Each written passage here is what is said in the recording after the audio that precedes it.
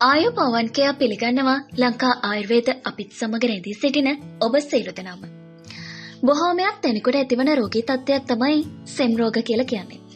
සෙම් රෝගයෙන් පීඩා විඳින ඔබ බටහිර වෙදකමේ ඇති පෙති ගිල දමමින් වේදනාවෙන් පෙළෙනවද?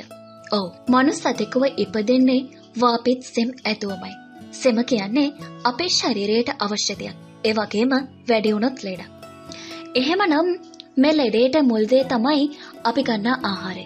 ඉතින් අද මම කියා දෙන්නේ ඔබගේ කෙවත් ඇති බෙහෙත් ශාකයක් ගැනයි. ඒ තමයි එළබඩු. එළබඩු ගහේ පස්පංගුව හරිම වටිනවා. ගෙඩි ටික එළවලුවක් විදියට හදා ගන්නවා.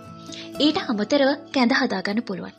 එළබඩු ගහේ පස්පංගුව අරන් කොට එම ඉස්ම පොල් කිරි සහ සුදුලෝණු සමග කැකුළු හාල් ටිකක් එක්ක අපිට කැඳ හදාගන්න පුළුවන්.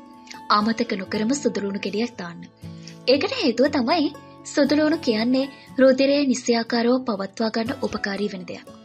එළබඩුවල විටමින්, කාබෝහයිඩ්‍රේට්, පෘෂ්ඨය, ප්‍රෝටීන් වගේම කැල්සියම්, පොටෑසියම්, ෆොස්ෆරස් ගුණ මනාව තියෙනවා. එළබඩු කියන්නේ සෙමට කදිම ඔසුවක්. පීනසය කැස්ස සඳහාත් අපූරුයි.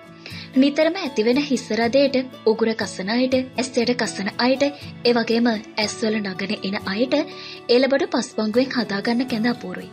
මලබද්ධයත් අයින් කරනවා. අර්ශස් රෝගීන්ටත් ගොඩක් වටිනවා. ඇඟ උණු කරවා යන මාසික සූතියෙන් වේදනා විඳින ඔබත් මේ පානය කර බලන්න. නොයෙක් පිතිගිලි දමා අතුරු ආබාධ හදා නොගෙන මෙය හදාගෙන බීල බලන්න.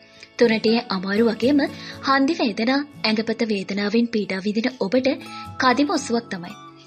කොලෙස්ටරෝල් ඇති අය කැඳ සාදා ගැනීමේදී පොල් භාවිතා නොකර වතුරවලින් පමණක් සාදාගන්න. මෙහි කිසිම අතුරු ආබාධයක් නැහැ. ඉතින් මේ පිළිබඳව යම් ගැටලුවක් ඇත්නම් පහතින් කමෙන්ට් කරන්න.